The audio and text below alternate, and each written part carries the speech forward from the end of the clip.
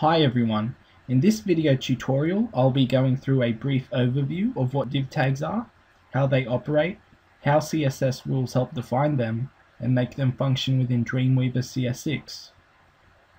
If you didn't already know, div tags are the essential building blocks of websites.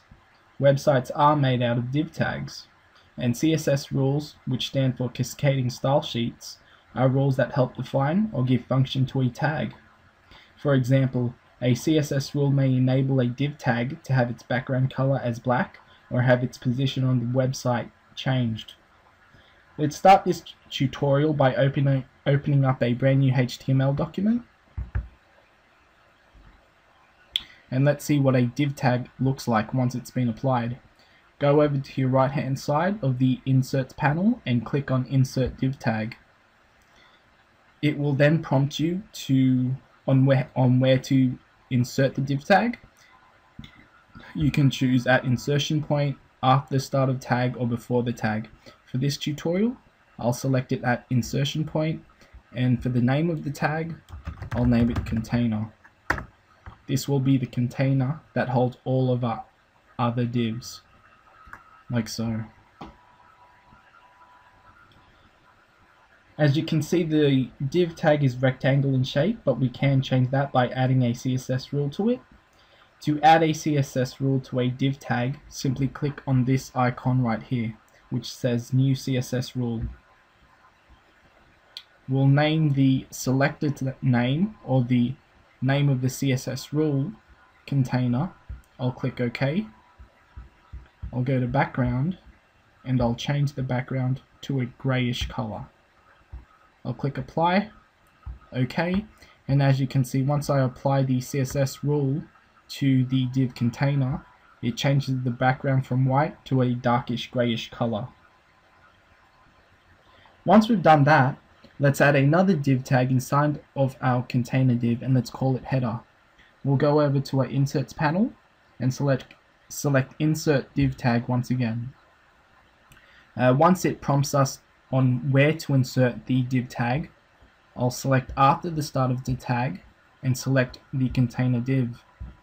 For the ID, I'll call this div header. As you can see, the header div has been placed within the container div.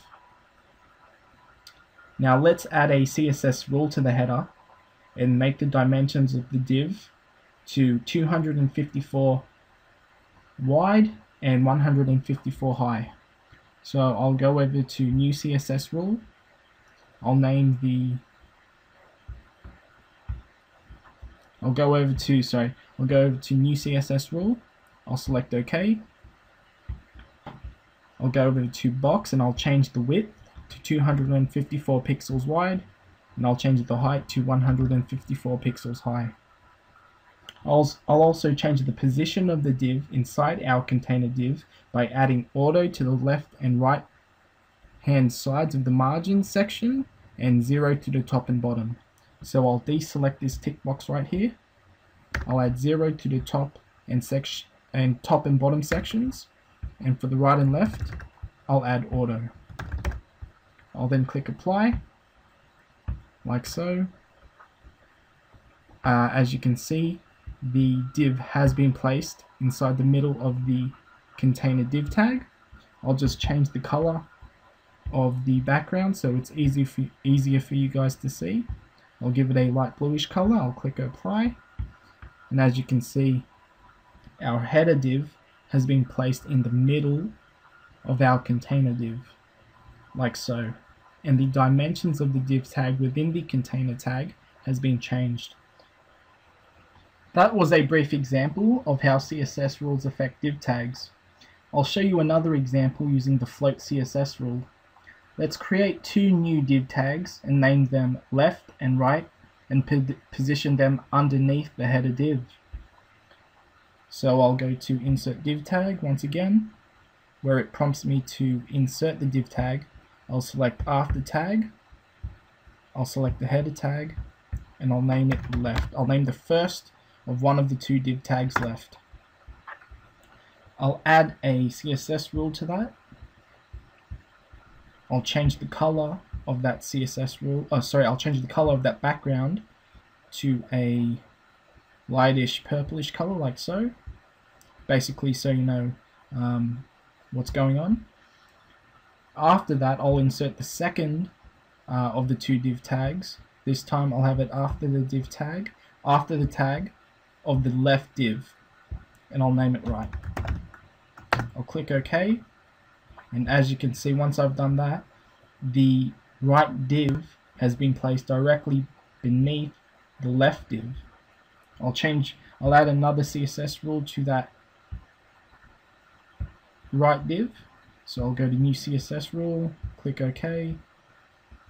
Background this time I'll give it a sort of plum or peach color I'll click OK click apply then OK. And as you can see basically it's changed color.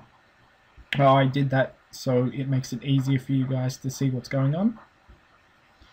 Now as you can see because it doesn't have the float CSS rule applied to either of them the tag that has been placed after the left tag direct directly goes beneath the left tag. So it goes so the right div tag is beneath the left tag. If I were to apply the float tag to the left the float tag would be taken out of its normal position and float to the left and same thing with the right div tag. The right div tag would float to the right. So I'll go ahead and I'll give it that CSS rule. I'll go to box, float left, click apply, okay.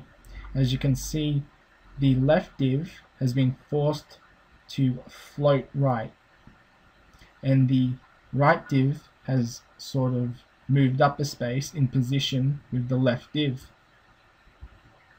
Let's go ahead and see what happens once I apply the right float to the right div. So I'll create another CSS rule, I'll click OK.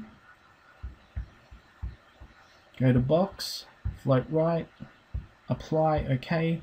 As you can see, once the right float CSS rule has been applied to the right div tag, the right div tag kind of collapses on itself or kind of shrinks to the right and floats to the right. So it gets taken out of its normal position and floats to the right. If you didn't have the float rule assigned to either of them, like before, uh, basically the right div tag would be placed directly beneath the left div tag. And that about sums it up for today's tutorial. In this lesson you got to learn how CSS rules affect how div tags function and affect the div tags around them.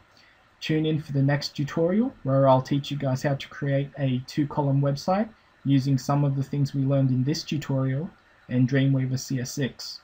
Thanks for watching, please subscribe to my channel and watch my videos. Thank you.